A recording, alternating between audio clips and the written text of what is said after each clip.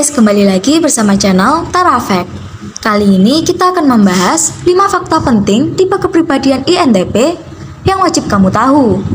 Sebelum itu jangan lupa like, komen, dan subscribe channel Tarafek ya.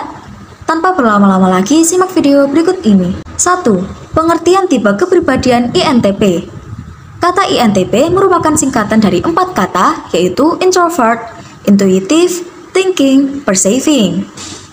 Setiap kata memiliki makna masing-masing. Introvert dapat didefinisikan sebagai seseorang tersebut cenderung suka menghabiskan waktu sendiri daripada bersosialisasi dengan orang banyak dan memiliki sifat pendiam. 2. Karakteristik seorang INTP Dalam mengambil keputusan, mereka lebih mengedepankan logika dan keobjektifan daripada perasaan mereka. Walau begitu, mereka cukup fleksibel dalam membuat keputusan dan kerap berpikir outside the box. Selain itu, mereka cukup terbuka dalam berbagai saran dan masukan terkait sebuah keputusan atau pekerjaan yang telah dibuat. 3. Kelebihan dan kelemahan seorang INTP Dalam melakukan penilaian, mereka sangat objektif dan terlihat adil. Walau begitu, seorang INTP kadang tidak peka terhadap hal-hal kecil, baik dalam hal pekerjaan hingga asmara. Selain itu, mereka juga dikenal kerap kesusahan dalam mengekspresikan perasaan mereka, sehingga susah untuk ditebak suasana hati mereka.